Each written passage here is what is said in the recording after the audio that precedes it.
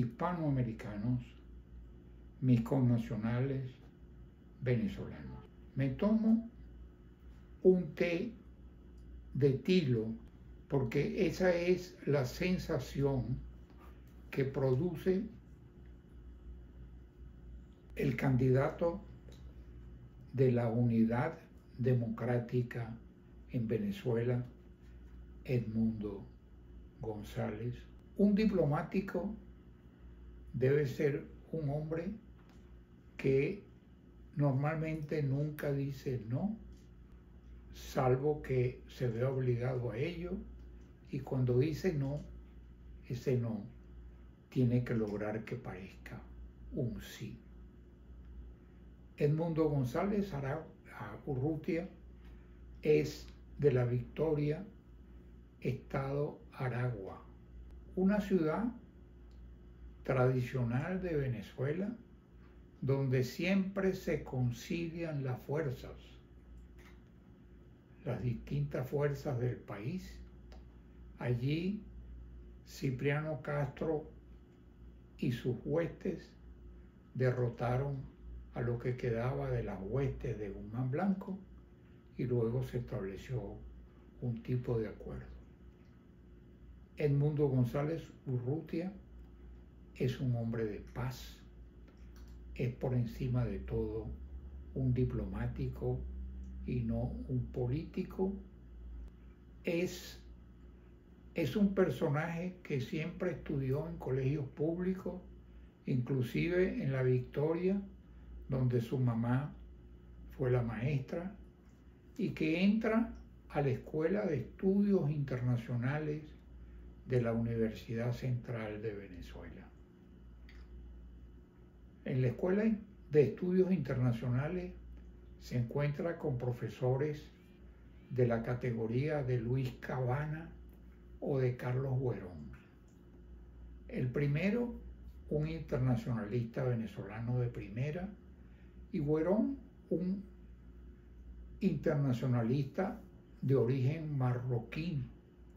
Puedo decirle que entre los profesores que tuve en la Facultad de Derecho, uno de los mejores, además de Caldera, Calvani, etcétera, fue Joaquín Sánchez Cobiza, también de Marruecos. El Marruecos español tiene también una tradición de conciliación y de tranquilidad. Hablar con Edmundo González Urrutia produce el efecto de un Valium. Es una persona que no contradice, sino que dice su opinión, pero trata de limar las asperezas. En este momento está enfocado a una candidatura presidencial en Venezuela con el apoyo de la unidad democrática y de la dueña de los votos, que es María Corina Machado. Hay las circunstancias que todos conocemos de lo ocurrido a María Corina y de lo inadecuado de una inhabilitación por la cual, similar a la que le hicieron a Petro cuando, cuando era alcalde de Bogotá, una, una inhabilitación administrativa que nunca se puede hacer sino por vía judicial. En todo caso, Edmundo González Urrutia tiene una larga secuela de actividades en la diplomacia. No solamente en el Ministerio de Relaciones Exteriores, Cancillería o Casa Amarilla, sino en el exterior como embajador venezolano. Lo ha sido en países como Argentina, por ejemplo, embajador de Caldera, hasta que Chávez lo destituyó. Ha sido embajador en otros países, inclusive en la Argelia del famoso Bumedián y de, Ben Vela, y siempre en un tono conciliatorio que produce el efecto de un válido. ¿Cuál es el peligro? Porque es indudable que si las elecciones fueran limpias, las ganaría Edmundo González Urrutia. Primero, la trampa.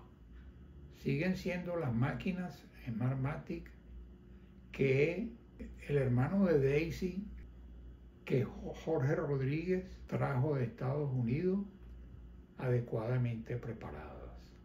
Segundo peligro, la sala electoral de la Corte Suprema de Justicia, que anule su postulación hecha por el Movimiento de Unidad Democrática con el apoyo de los restos de Unidad Democrática y que el gordo Escarrá, Germán Escarrá, mejor identificado por Claudio Nazoa como un personaje elegante, un personaje distinguido, muy bien vestido, engominado, con citas de latinazos, etc., pero que maneja la Corte Suprema de Justicia de modo que lleve a una ponencia a la sala electoral que signifique la anulación de la postulación del doctor Raimundo González Urrutia. En todo caso, este embajador de Caldera, de la mayor confianza del Figueredo durante el ministerio, su estadía en el Ministerio de Relaciones Exteriores, merece la confianza del país. La suerte está echada.